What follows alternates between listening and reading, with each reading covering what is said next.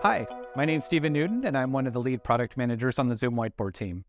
In this video, I'm going to show you how to open one of your whiteboards onto a Zoom Room for Touch device so you can edit it inside of a conference room. So the first thing you have to do is pair from your personal device to the conference room so that you can open the boards from your account. So Nathan is going to be my assistant. From his desktop device, he would use the pair button that's in the top right, which would pair him to the conference room. And then once he's paired, he would then be able to choose which of his boards he wants to open inside of the room. So he would select open this whiteboard into the room. I then get confirmation in the room to make sure I want that board to open in the room. I hit open. And now that whiteboard has been opened in the room and we can both continue to edit it and all the changes will continue to be saved in the cloud on his account. It's that simple. And then once we're done, we close the whiteboard. So thank you so much for watching.